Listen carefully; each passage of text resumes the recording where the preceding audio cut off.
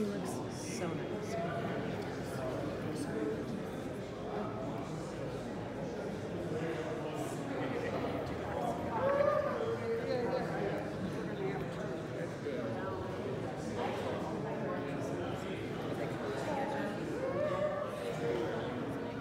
Do I sit here? Here it is.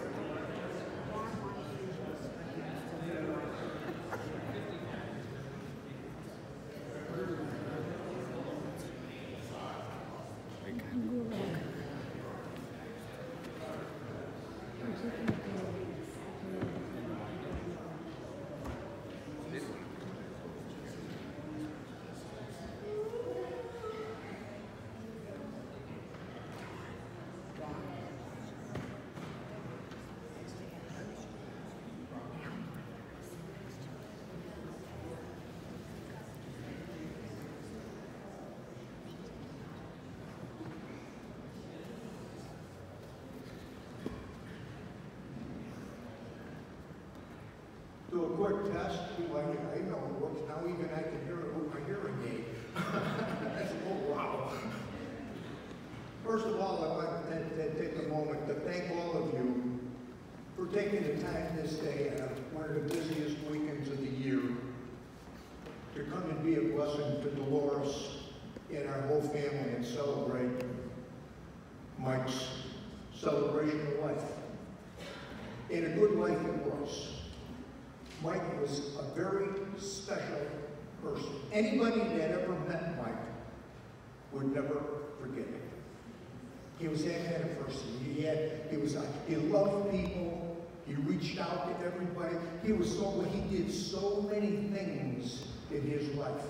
He traveled to many, many, many places. And, uh, like I said, he, he, he loved life.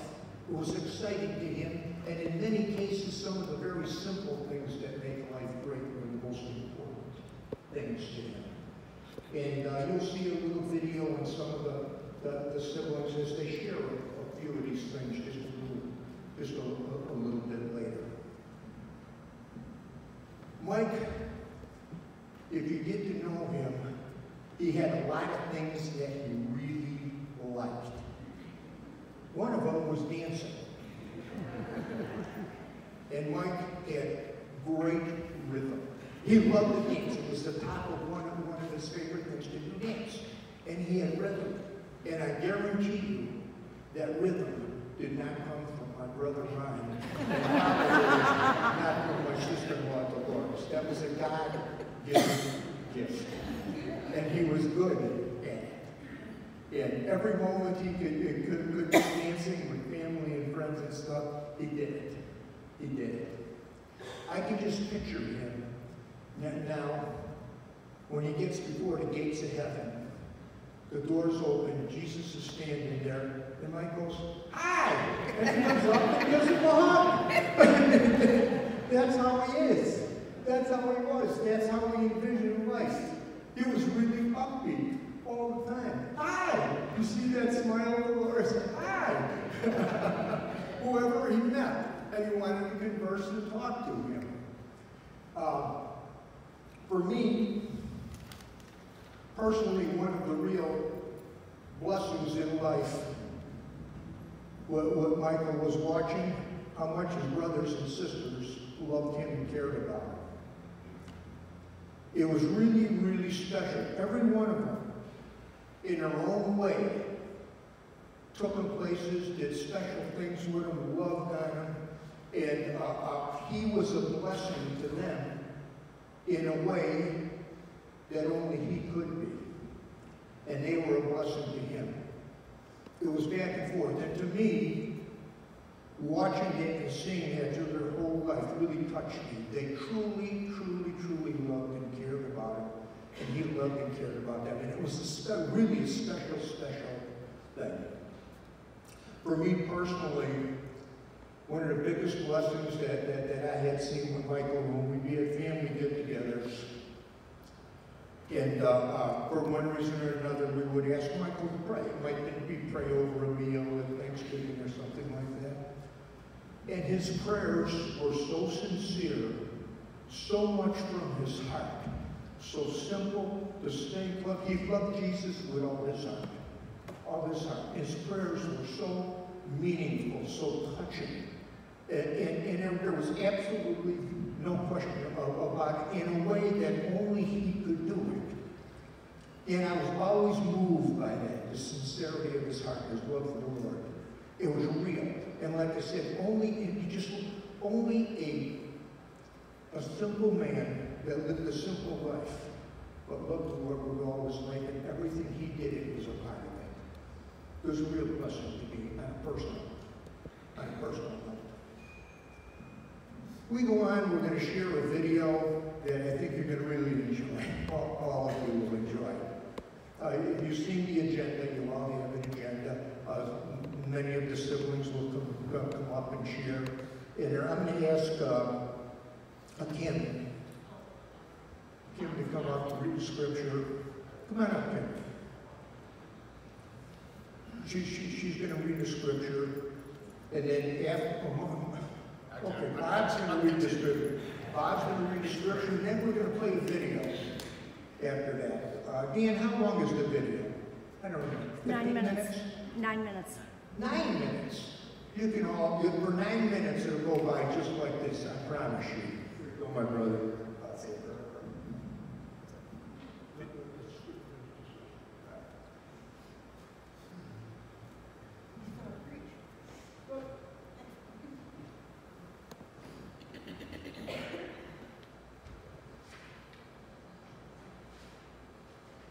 Al was talking about his uh, dancing, and um, the other night, or afternoon, uh, Al and I went to the movie Elvis, and they talked about his Jiggly Wiggly, which society had a real problem with Elvis's Jiggly Wiggly, but Michael had his own Jiggly Wiggly. I mean, just a little bit more on that. I remember going out with him too. We'd have to pull him off the dance floor, cool down, put water on him. he was a real dancing machine. Uh, on a serious, more serious note, uh, I'll be reading from Psalms, the book of Psalms, Psalm 139, verses 1 through 6 and 13 through 18. You have searched me, Lord, and you know me. You know when I sit and when I rise. You perceive my thoughts from afar. You discern my going out and my lying down. You are familiar with all my ways. Before word is on my tongue, you, Lord, know it completely. So when I read that, I thought, some of those words, hmm. You hem me in behind and before, and you lay your hand upon me. Such knowledge is too wonderful for me, too lofty for me to attain. You created my inmost being. You needed, knitted me together in my mother's womb. I praise you because I am fearfully and wonderfully made. Your works are wonderful. I know that full well. My frame was not hidden from you when I was made in the secret place, and when I was woven together in the depths of the earth. Your eyes saw my unformed body. All the days ordained for me were written in your book before one of them came to be. How precious to me are your thoughts, God. How vast is the sum of them. Were I to count them, they would outnumber the grains of sand. When I awake, I am still with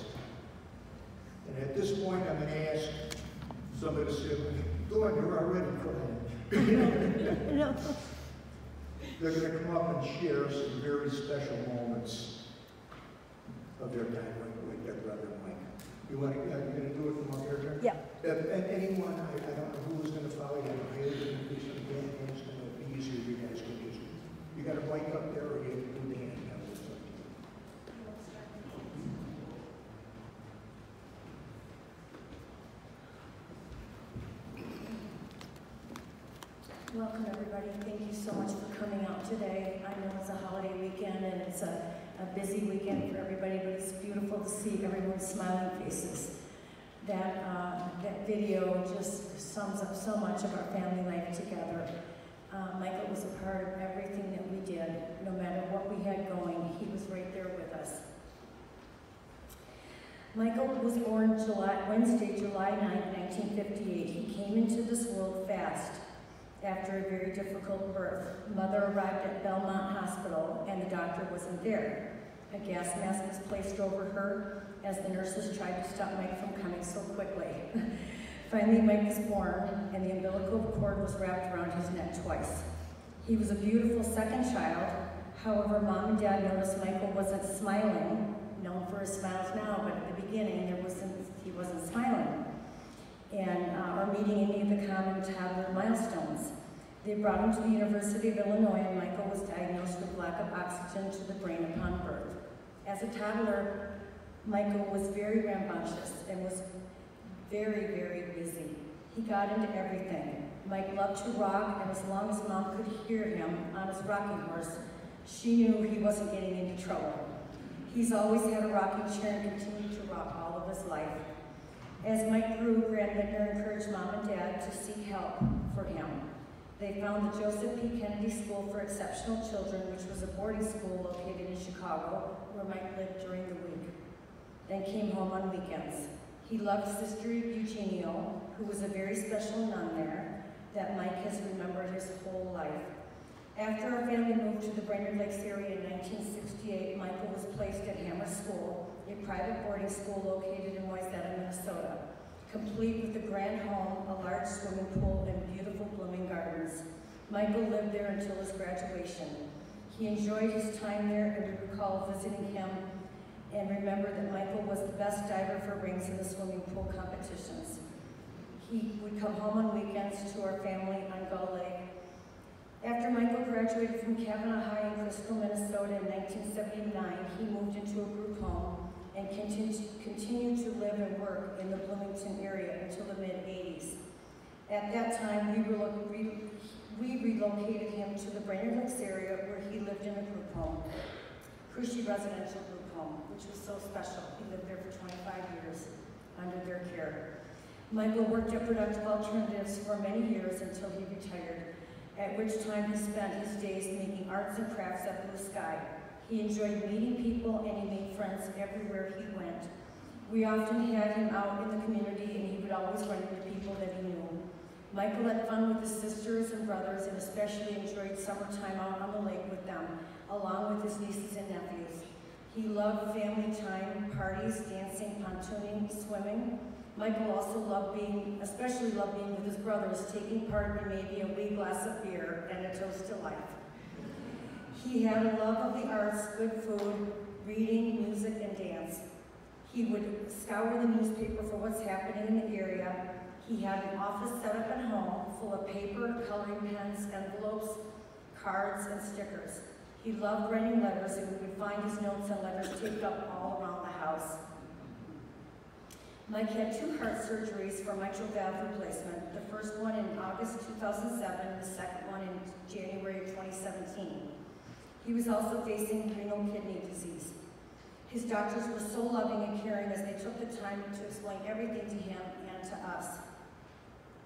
Um, and earlier this year, Michael was diagnosed with advanced heart failure. Through it all, Michael's strength and optimism and optimistic spirit came from the Lord. We are so thankful for the years that we had with him. What a blessing he was to each one of us. He holds a special place in our hearts. Michael loved Jesus, his prayers were precious, and he was famous for also dear Lord. Lisa said it best, Michael was the very best of us kids, and we agree. God bless Michael in heaven, along with Dad, Aunt Mary, Grandpa, Lindner. We look forward to seeing him again. Um, on, a, on a personal note, there were some funny things regarding Mike. I once, um, I, I took him on a lot of trips with us. As a family, we took a lot of trips. We saw Mary Poppins and uh, Wicked uh, Broadway musicals in New York and the famed Jubilee Showgirls in Las Vegas, Cirque du Soleil and the Beatles' Love on the Las Vegas Strip. We also saw the Blue Man Group in Chicago. And um, at, at the last one that we went to was the Blue Man Group, and we were sitting up front and center. And we got great seats. And suddenly I heard, I have to go to the bathroom. Oh. No, we had these great seats and I didn't want to give them up, so I allowed him to go on his own. After a bit, I was getting a little bit concerned. Suddenly on the Jumbotron, there's Mike with a member of the Blue Man Group. Displayed brightly, and he was trying to get Michael to come down on stage. Mike wasn't having any of that. But there it was, it was all caught on screen. On a family vacation in Mexico, Mike had all of the, the condo, the ladies from the condo association holding a birthday party for him, even though it was March, and his birthday wasn't until July. I have an old home built in 1940 with an old-fashioned mail slot that delivers mail directly into my home. Often after I have Mike for the weekend, I would open up to check my mail the following week, and I would often find notes, letters to someone crammed inside the mail slot for delivery from Michael, as well as notes taped up and stuck all around the house. The things we've learned from Mike, to appreciate and enjoy life, to love unconditionally, to completely accept someone, to have compassion and caring for special needs, to have patience. We also developed an unbridled protection of him. The R word, even said in jest, would pierce our hearts. Mike, you've been such a blessing to our family, and having a special needs brother has taught us valuable lessons. You've expanded our hearts in every positive way. We miss, we love and miss you, sweet brother.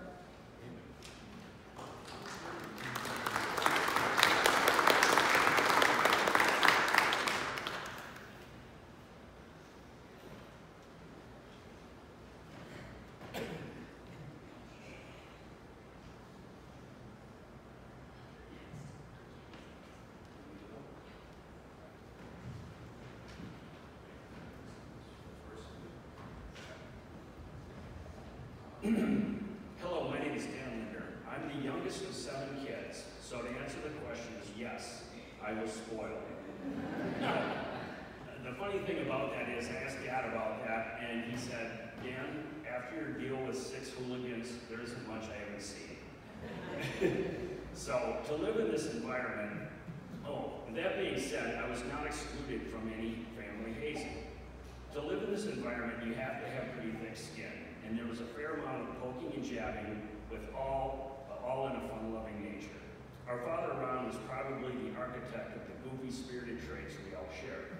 Obviously, mom was the keeper of the zoo. Thanks, mom. She's the backbone, caregiver, fire starter, running to the cop shop, saying, wait till your dad gets home, loving mom, and the keeper of peace, and the keeper of peace person. What a great woman. I had to take my hats off to my parents. Wow. Now, I can sincerely say, I don't think I've ever seen my brother Michael mad in my entire life. He may have been disappointed, but never ever mad and held a grudge. Back to something I said earlier about having thick skin in this environment. Everybody has a nickname, whether you liked it or not. Thank you, Jim. At the start, you've got Willie or Willy Wonka, then you've got Pickle. Next, James, or as Dad called him, Jinx, Bird, Elm, Tootsie or Beads, and me, Fat Boy. what a wonderful family, right? The thing is, we were all hazed. Never, nobody ever got out from being hassled, including Michael.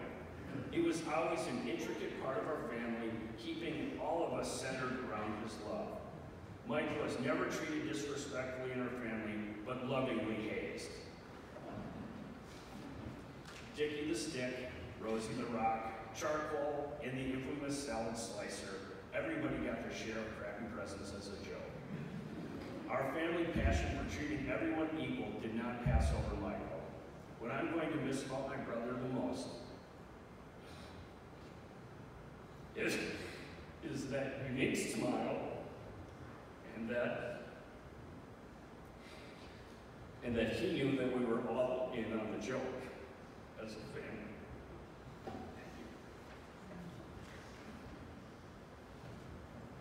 Hi, Jack Lindner, and every time I walked into the door, I loved how he greets me with a smile and how he always gave me a hug and said, Hi, Jack.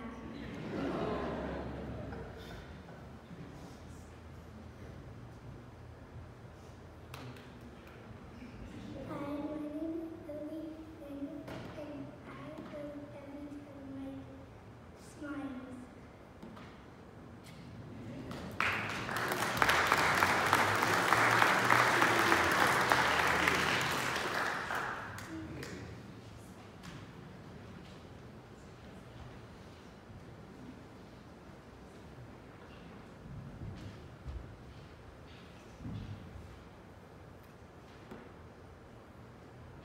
Well, I just want to say thank you guys all for showing up. It's such a special, such a special event.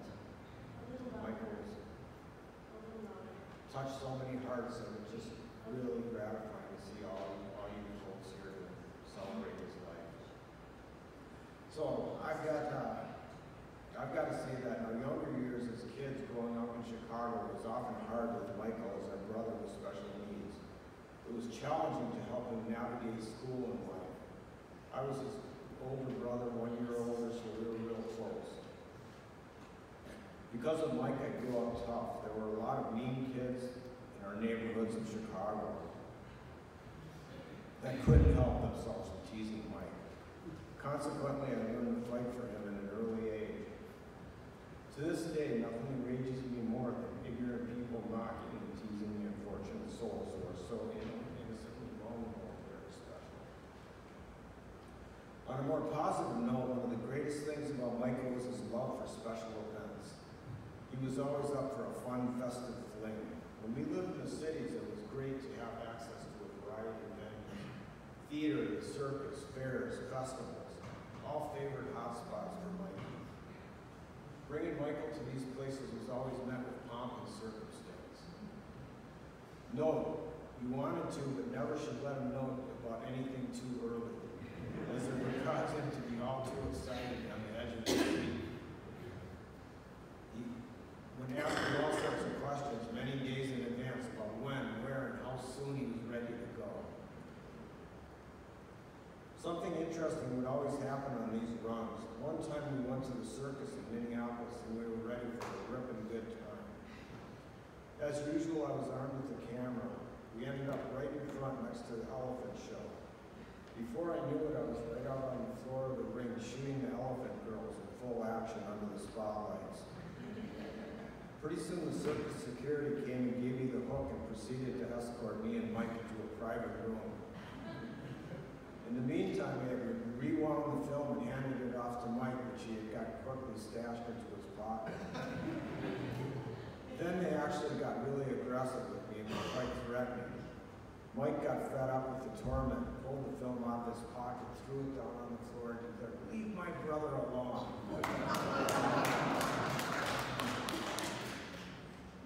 he cared that much. Cirque du Soleil was another grand event that my brother Mike just absolutely loved. Prior to the start of the show, the, one of the shows, the evil ringmaster prowled around the aisles interacting with the audience. He stealthily approached our row. He suddenly stopped, turned, with his illuminated scepter in one hand, and pointed his long, pure white bony finger was quite shocking for Michael, just shaking in his boots for the rest of the night. The Renaissance Festival is another summer event we had so much fun with. Kitty and I dressed up Mike as the Grand Duke of Mix, whose royalty had traveled from afar in an ancient land to get an audience with him, thus being king and queen of the realm.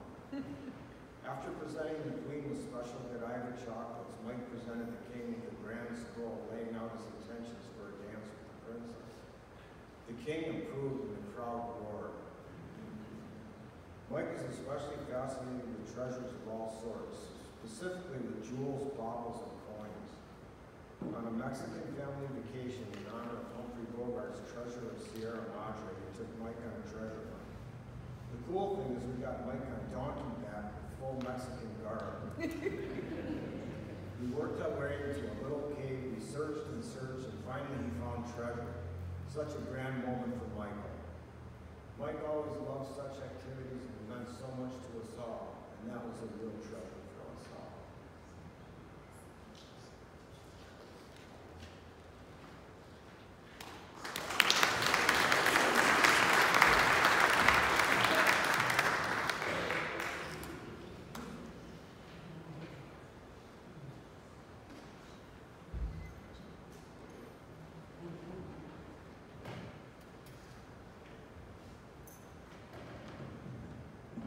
Okay.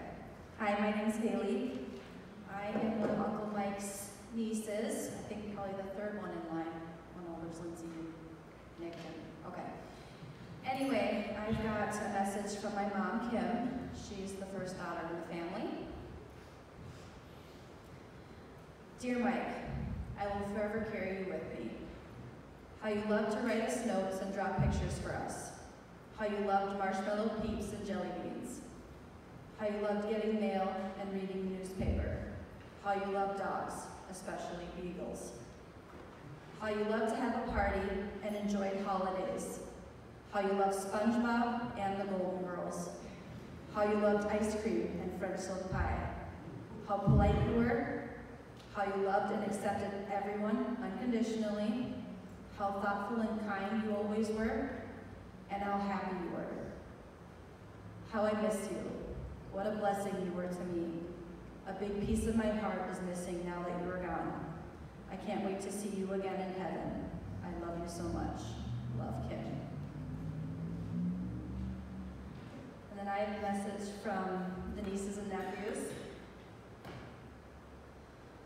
Oh, Uncle Pickle, topping the list right under my brothers and sisters and marshmallow peeps. Being an uncle was one of your favorite things. Well, I'll tell you, having an uncle like you was one of my favorite things. Growing up in a large family, the magnificence of Uncle Mike was never lost on me. I understood at a very young age that he was special, and I never hes hesitated to give him the same love and respect the others received, if not more. Having someone special in your family means having a depth of understanding, gentleness, and grace that many do not understand. Birthdays, family reunions, and Christmases were more magical. Puzzles, books, and games were more fun. Ice cream was sweeter, French loaf pie was more decadent. Marshmallow peeps were, well, they're still gross. but life was much more simple when seen through Uncle Mike's eyes. Everyone in his world was touched by his love, humbled by his innocence, and inspired by his joy. I was privileged to grow up with a soft spot in my heart and a fight in me for the underdog. Uncle Mike was the glue that held us all together and the sparkliest of all the jewels in the family crown. I find solace in knowing that God promises to make him whole in heaven. I can't wait to see him as he was meant to be. Until we meet again, I love you, Uncle Mike.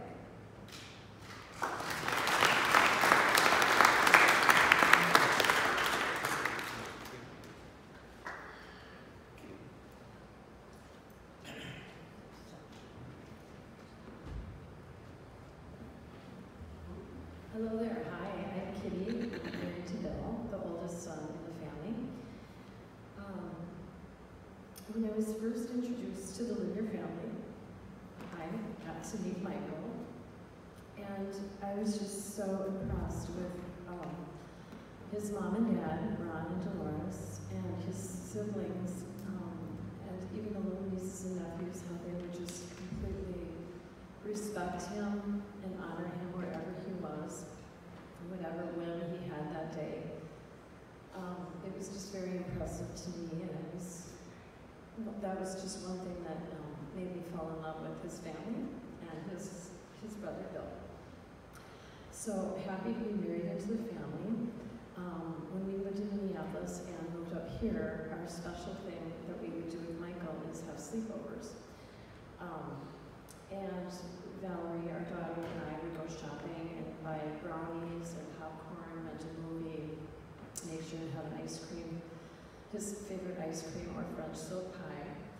And first we would start off with um, coming in and making brownies, and then he was always leapfrogging ahead, wanting to know what the next thing was. And it was really hard to keep him like entertained like every minute. So I learned that I needed to have a stash of dessert books for him to leaf through as I was preparing for the next fun thing.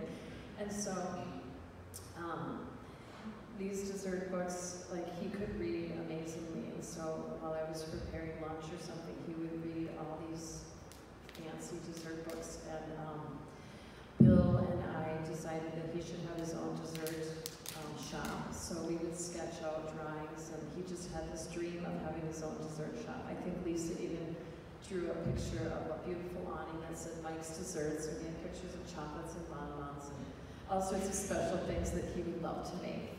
Um, and uh, so I'm just thinking, probably right now he's up in heaven and holding court at the banquet table of the Lord, wanting to have this popcorn party, brownie party, dessert party, and all sorts of special things.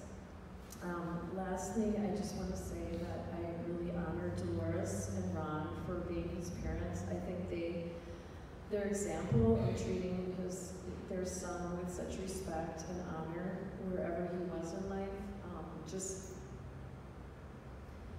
set in motion how his, his siblings would treat him and honor him, and how the nieces and nephews would also follow suit. So, yeah, I think it's just a great example to everyone just witnessing this in the community and you know, for all the grandchildren that are in the family as well. Thank you. Thank you for being here.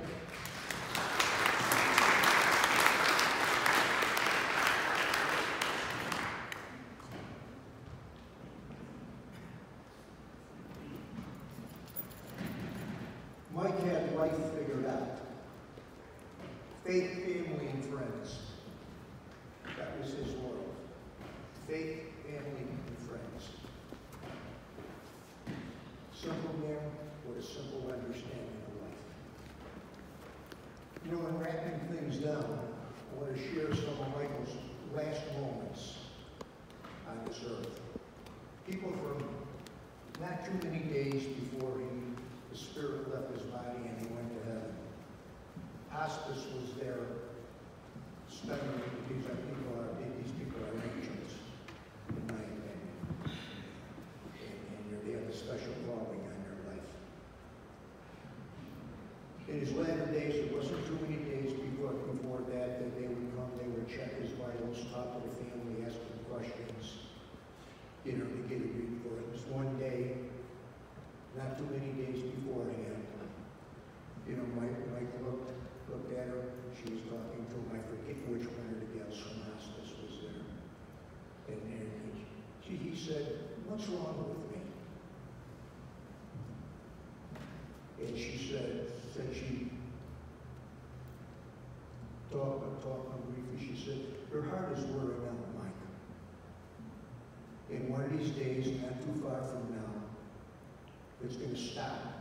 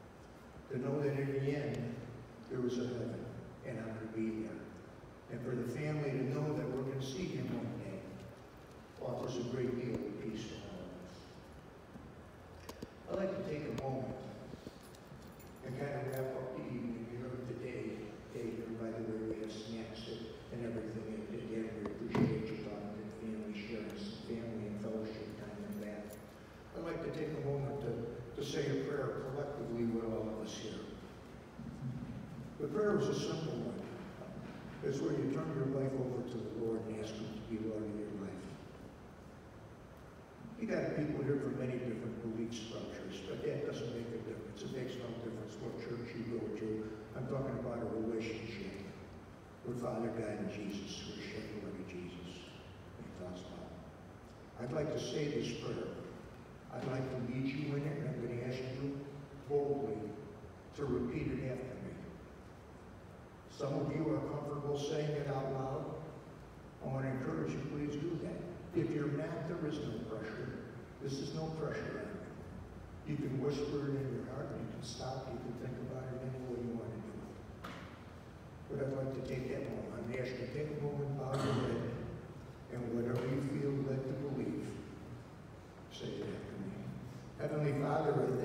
sending me your son, Jesus. Thank you for sending your son, Jesus. Jesus, I believe you died for my sins. Jesus, I believe you died for my sins. Rose again and are sitting at the right hand of the Father. Rose again and are sitting at the right hand of the Father. I ask you to come into my life and guide my steps from this day forward. I ask you to come into my life and guide my steps from this day forward. With your help, Lord, I'll serve you. Thank you for my salvation. Thank you for my salvation. Amen. Amen. This simple prayer opens up the gates of heaven. Simple prayer. The power behind those words come from here. Do you mean it? Do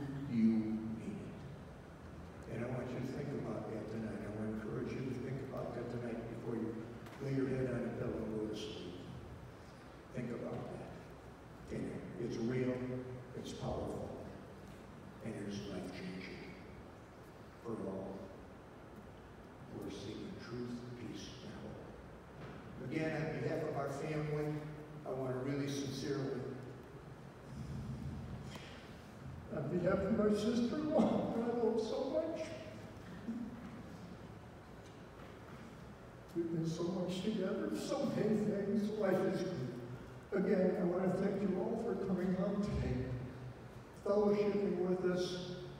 We're going to, have a, a, a, closing music here, and again, join us in Becky.